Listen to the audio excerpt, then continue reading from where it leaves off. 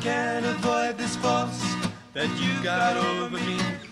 This gravitational attraction. You're pulling me towards you at 10 meters per second squared. An equal but opposite reaction. It's hard to avoid